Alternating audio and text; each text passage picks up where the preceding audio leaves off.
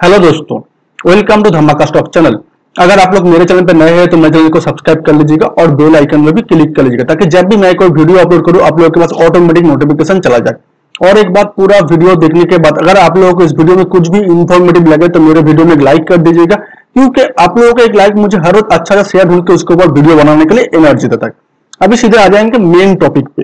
तो आज हम बात करेंगे आपका IRFC Indian railway finance corporation limited तो ये शेयर अभी आपका चल रहा है लगभग तेईस रुपए पैंसठ पैसा, तेईस रुपए सत्तर पैसे का। आज हाई गया था चौबीस रुपए दस पैसे का लो गया था तेईस रुपए चालीस पैसे का। फिनस्टार ने इस कंपनी को थ्री आउट ऑफ़ फाइव का रेटिंग दिया है, जो अच्छा ही है। इसका जो मार्केट कैपिटल है बड़ा मार्केट कैपिटल वाला कंपनी इसका जो total market capital thirty thousand nine hundred seven point zero two crore और ये शेयर डिविडेंड भी देता है। इसका नेट प्रॉफिट हुआ है आपका four thousand four hundred sixteen point one three crore का। प्रोमोटर्स का होल्डिंग है आपका 86.36 परसेंट प्रॉफिट ग्रोथ हुआ है आपका इस साल 38.35 परसेंट ऑपरेटिंग रेवेन्यू जनरेट किया है आपका 15,770.47 करोड़ मतलब फंड फंडामेंटली एक शेयर एक अच्छा शेयर है ठीक है। अभी हम लोग सीधे चले जाएँगे चार्ट पे। तो पहले क्या करेंगे मैं इसका इन, बिना इंडिकेटर लगा हुआ चार्ट ओपन कर लेता हूँ। तो देखिए ए शेयर आपका इसी साल आपका मई महीने में चला था इक्कीस रुपया। उसके बाद ये लगभग हाई लगा है आपका छब्बीस रुपया। अभी ये शेयर आपका ट्रेड कर रहा है तेईस रुपया पैंसठ पैसे सत्तर पैसे में ठीक है? अभी हम लोग क्या करेंगे थोड़ा सा इंडिकेटर लगा हुआ चार्ट में देख लेंगे देखिए यहाँ पे सुपर टेन ने बाय सिग्नल दिया था तब से तब से उसके बाद ये शेयर आपका लगभग चौबीस पच्चीस, चौबीस, पचास का लेवल तक चला गया था लगभग। उसके बाद ए शेयर नीचे की तरफ़ आने लगा, लेकिन यहाँ पे मैंने देखिए पिवट पॉइंट का एक लेवल लगा कर रखा। है ये जो आपका स्ट्रॉन्ग आपका सपोर्ट लेवल इसको तोड़ नहीं पाया। फिर से शेयर ऊपर जाने की कोशिश कर रहा है डे चार्ट के हिसाब से। आर एस आई देखिए अब सिक्सटी है मतलब पॉजिटिव है। एमएससीडी भी ज़ीरो पॉइंट से ऊपर है, लेकिन यहाँ पे लगातार तीन, चार महीने से ग्रीन का रेड कैंडल बनाया लेकिन ज़ीरो पॉइंट से ऊपर है। तो ये भी एक पॉजिटिव पॉइंट है।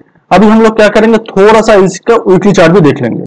तो देखिए वीकली चार्ट में बिना इंडिकेटर लगा के हम लोग जब चार्ट देखेंगे, यहाँ पे आपका लगभग इसी महीने में मतलब इसी साल में इक्कीस रुपया गया था, मई महीने में जब, जो मैं पिछले ऑलरेडी बता चुका हूँ, उसके बाद ये हाई लगा, लगभग छब्बीस रुपया पचास पैसा के करीब, ठीक है? उसके बाद ये थोड़ा सा यहाँ पे आया, फिर से यहाँ पे, यहाँ से बढ़ना चालू हुआ, और अभी ये शेयर ट्रेड कर रहा है तेईस रुपया पैंसठ पैसा में।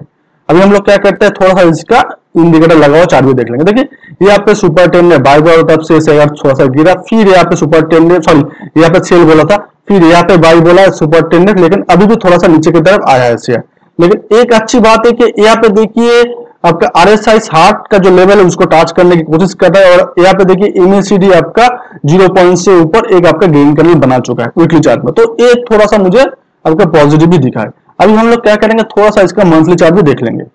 तो देखिए मंथली चार्ट मैंने ओपन कर लिया ए शेयर पहले तो गिरा, फिर ऊपर गया, फिर गिरा, अभी ए शेयर ऊपर जाने की कोशिश कर रहा है। तो बहुत सारा आगे अभी मार्केट में बोल रहा है कि ए शेयर एक मल्टी ब्लगर आपका स्टॉक है मल्टीप्लायर स्टॉक है तो ये शेयर आगे जाके बहुत मुनाफा देगा। लेकिन मुझे ऐसा कुछ अभी तक दिख नहीं रहा है।